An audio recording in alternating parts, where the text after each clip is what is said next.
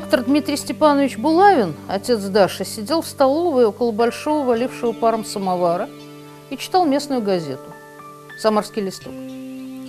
Когда папироса догорала до ваты, доктор брал из толсто набитого портсигара новую, закуривал ее об окурок, кашлял весь багровее и почесывал под раскрытой рубашкой волосатую грудь. Читая, он прихлебывал с блюдца жидкий чай, сыпал пепел на газету, на рубаху, на скатерть. Когда за дверью послышался скрип кровати, затопали ноги, и в столовую вошла Даша, в накинутом на рубашку халатике, все, все еще розовая, сонная, Дмитрий Степанович посмотрел на дочь поверх треснувшего пенсне холодными, как у Даши, насмешливыми глазами подставил ей щеку. Даша поцеловала его и села напротив, отодвинув хлеб и масло. «Опять ветер», — сказала она. Действительно, второй день дул сильный горячий ветер. Известковая пыль тучи висела над городом, заслоняя солнце.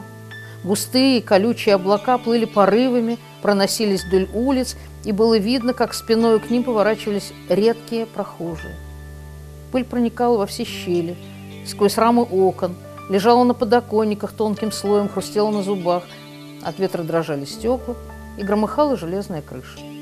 При этом было жарко, душно, и даже в комнате пахло улицей. «Эпидемия глазных заболеваний недурно», — сказал Дмитрий Степанович. Даша вздохнула. Две недели тому назад на сходнях парохода она простилась с Телегиным, проводившим ее в конце концов до Самары.